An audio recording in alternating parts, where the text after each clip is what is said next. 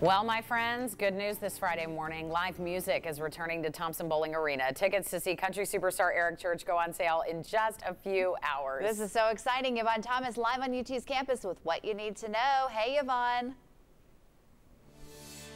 Hey, ladies, good morning. It's so good to hear your voices and so excited to see that music is coming back to TBA. Can you think about it right now? 10 a.m. is the time that you need to get ready for these Eric Church tickets, and I promise you, they're probably going to go fast, so you do want to be prepared. Now, many of us as fans have been waiting and waiting for us to go back inside and have concerts, but many businesses, I'm sure, have been waiting on that revenue as well. The 2019 COVID 19 pandemic has really silenced a lot of events in 2020, including many concerts. Now, last year, several big names like Chris Stapleton and Elton John had to reschedule their performances, but slowly but surely, we're starting to see more big names join that roster, and we're starting with Eric Church. No doubt that this could be a good economic boost for many businesses in the city, like in concerts we've seen in the past.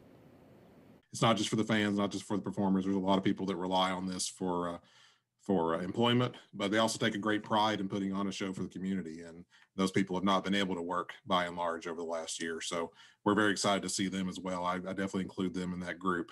of the Year Eric Church will perform at Thompson Bowling Arena on November 12th as a part of the Gather Again tour. Now, if you want tickets, this is your day to get them. And here's some information to help you out this morning. Again, the sales start at 10 a.m. You must purchase the tickets online. You can go to ericchurch.com, but I've done my research this morning. You'll have to click through a couple of pages. The quickest way to get there is knoxvilletickets.com slash ericchurch. And again, there is a six ticket limit for this event. We have a lot of big names coming up later on in the year, including Elton John in 2022 and also Chris Stapleton. But for now, we're going to send things back over to you guys in the studio.